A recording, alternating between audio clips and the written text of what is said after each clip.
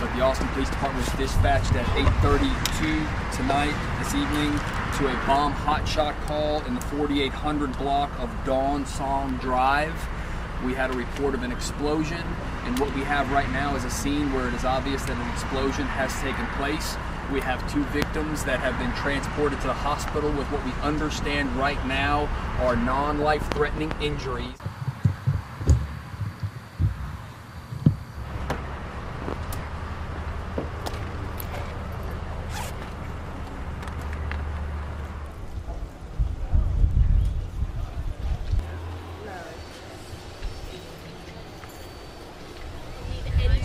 unturned.